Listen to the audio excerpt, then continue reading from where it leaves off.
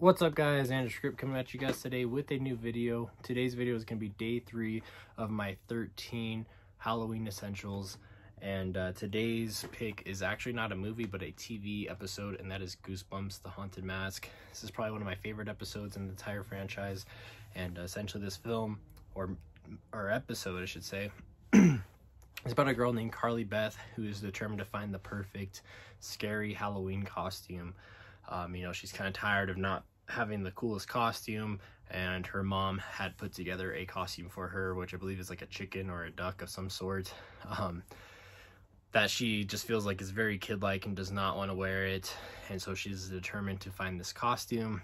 She stumbles uh, along this uh, mask store um, and you know she kind of sneaks in and she finds the mask she wants when the owner appears and tells her you know tells her to get out. Do not put on the mask. Um, so, you know she ends up taking the mask wearing it and everyone thinks it is the creepiest thing ever. Uh, and halloween night comes and she leaves the house uh, wearing her chicken costume but changing into her more terrifying costume. And strange things start to happen.